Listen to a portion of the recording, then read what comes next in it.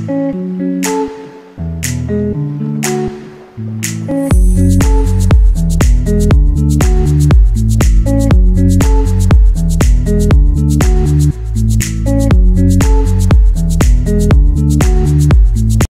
mga kachabi. Panibagong vlog na naman tayo. Update ko lang kayo dito sa trabaho dito sa Ubasan.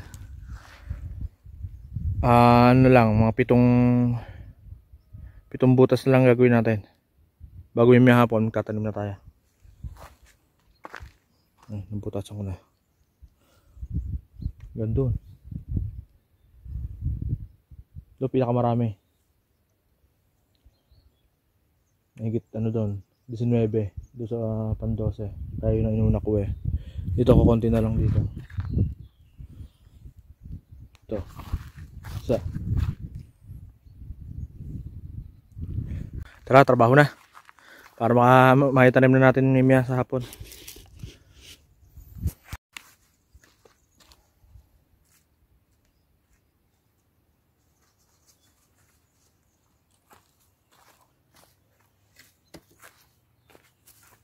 bago strategy so muna natin tumatigas sa ibabaw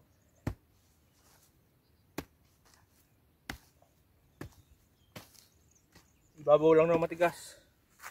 Bago yung pinakailalim malagkit. Unat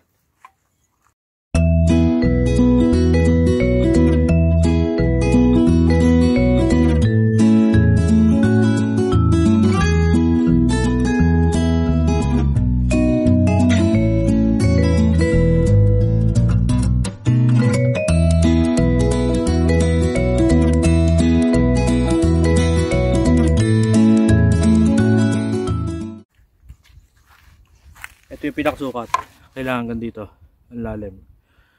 30 cm pinakalalim. Okay. ayan tapos na mga kachabi. Dito medyo buwagag ang lupa. Lambot lambot sa unang ano unang pila. Lambot ang lupa dito doon tigas. Lalo ngayon kay tigas. Yung, pin, yung pang 12 pila. Lalo ngayon parang bato. Wala tuyo. Tara sa garahe. Kakabit naman natin yung roto sa likod ng traktora. Gigilingin natin yung lupa doon sa baba. Doon tayo kukuha ng pantabon para buwaghag kasi hindi pwede pantabon tong matigas malagkit parang clay yun, papakita ko sa inyo.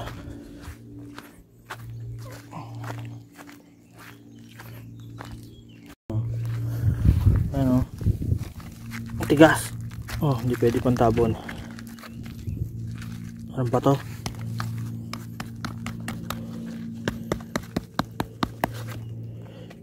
kaya kukuha tayo dun sa. Baba pantabon meron dun sa sobrang lupa eh pero kailangan i-roto muna. Para mabuwagag tara. Yan mga kachabi gagamitin natin. Igilingin yung lupa. Ito pang ano to? Pamputol ng mga damong matataas. Ito yung ginagamit kong pambomba sa ubasan. Pang bobomba ng ubas Kinakabit din yan dito sa likod ng traktora.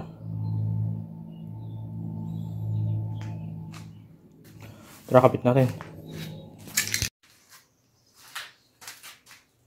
Kapit muna natin yung propeller.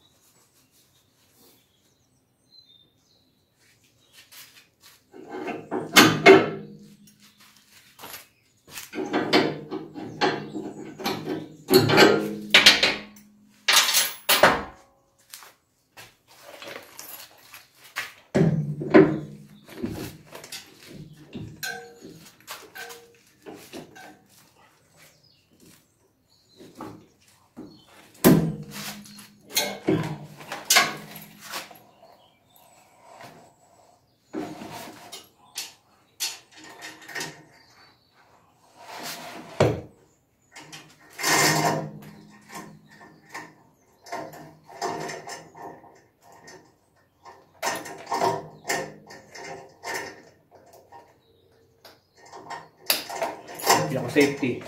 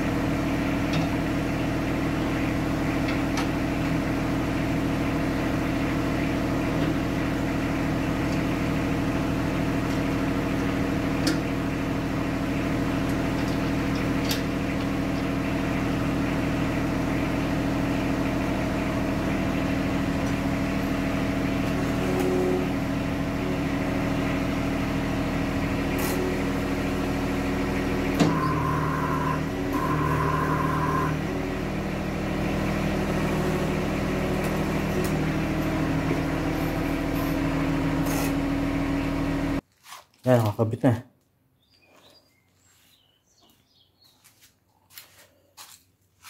Mas malakas kasi to eh. Pag traktora. Kasi yun. Ginagamit ko lang yan pag do sa sa orto, do sa tinatanim ko maliit. Sa pang malaki ang ano, lupa. Tara, start na. Ito nga pala, kailangan higpitan. Para di sumasayaw. Para di lumalarong ganyan. Kaya higpitan to.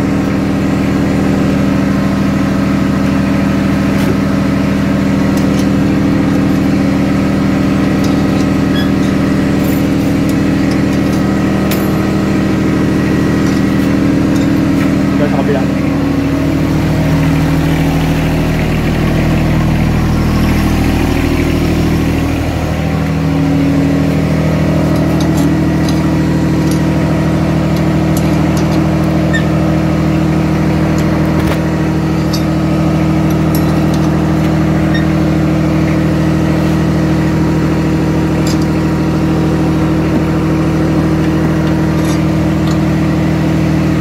Ibay na.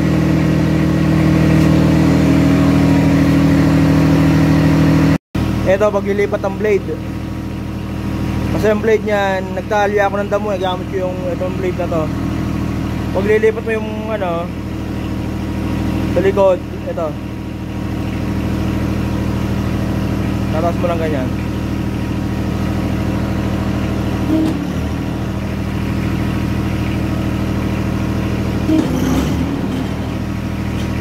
Yun. Sa likod na yan. Gagana na yung roto.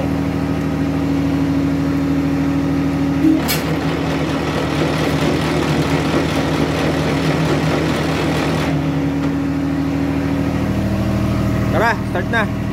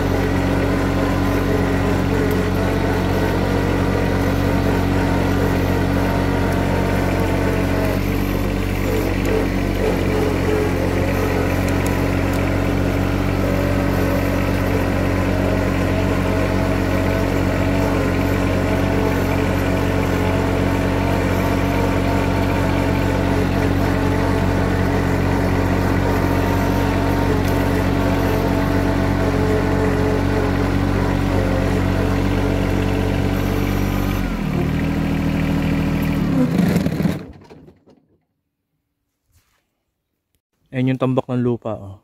Tinubuan na ng damo. Diyan tayo kukuha ng lupang pantabon sa itatanim natin ubas. Eh, roroto natin yan. Para mabuhaghag.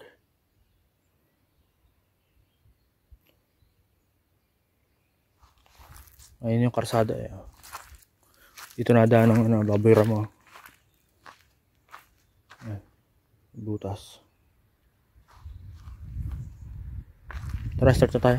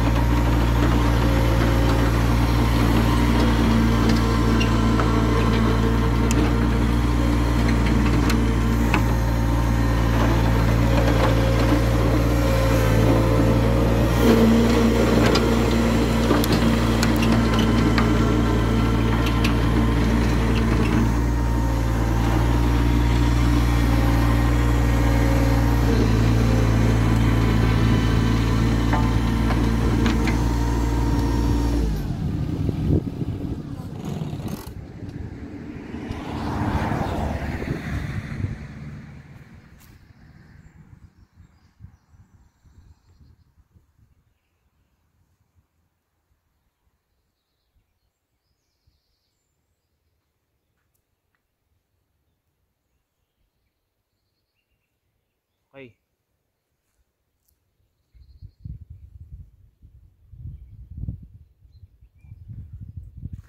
Ganda.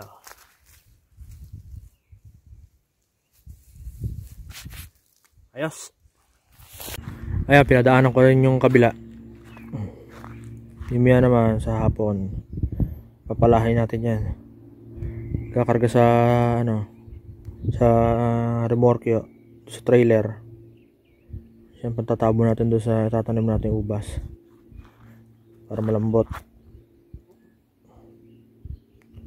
Tara, uwi muna sa bahay. Maya maya susunduin si Sandro sa school. Ay mga kachabi, back to work na ulit tayo. Ay, naikarga ko na yung mga itatanim na ubas. Bukuha na tayo lupa. Dito na ulit ako sa giniling doon sa pinaggilingan ng lupa. Dahil start na start.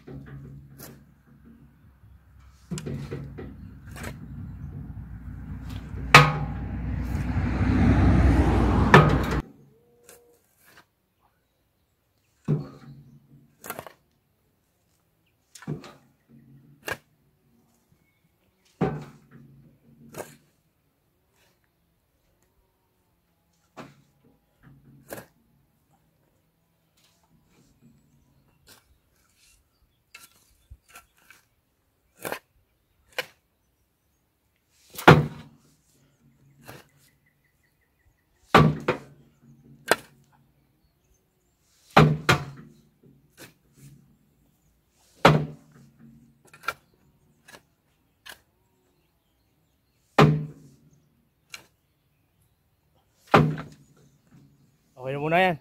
Balikan na lang natin yung maya. Magkulang.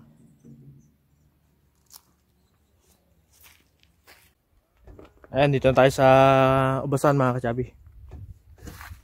Tatanim natin to. Gugupitin muna natin yung ugat.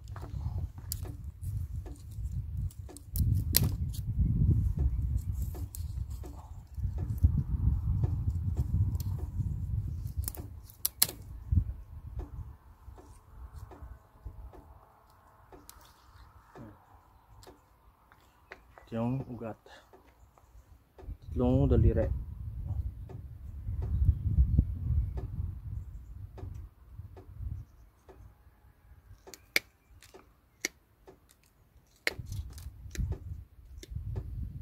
ayan ang matitira ito lilinisin yung mga nag-ugat din kasi siya dito eh. Kasi babaw hanggang dito sa may kulay.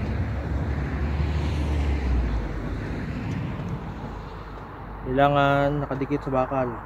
Kaya lang to ay wala pang bakal ito isa lang may bakal. Hindi ko pa nalalagyan yung iba.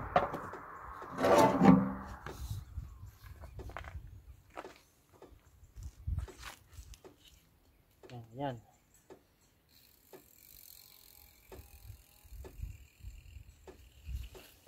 Kailangan nakadikit Yan.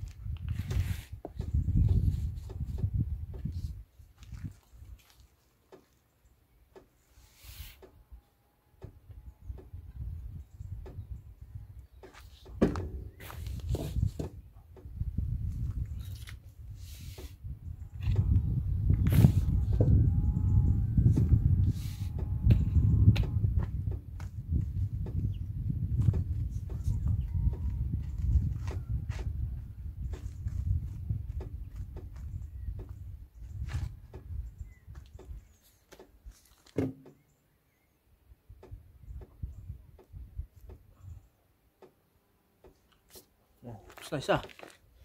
Dali lang magbaon. Ayan. Naibaon natin yung isa. Ganyan lang. Mas madali magbaon. Hmm. Ito naman sa kabila. Mahirap lang dito ay walang bakal. Tatansyahin na lang. O ganyan, pag natanim na natin, lalagyan natin ng ribbon na pula. Ayan, may ribbon na pula. Para malaman natin kung alin yung bago. Yung bagong tanim. Kasi meron diyang lalabas na mga mas mabulas, mas mabilis lumaki. Sumasabay yan doon sa mga sa mga matatagal na. Pag eh, tumubo na ay baka hindi natin malaman kung anong bago. Hindi natin matandaan kaya natin ribbon para pagdating sa sobrang init sila yung priority natin madiligan. Tayo mga kasabi. Work work work muna. Work work work. Yan. Tapos na. Tapos din. Bukas magtatali naman. Saka lalagyan ko ng ribbon. Hindi ko muna nilagyan ribbon. Bukas na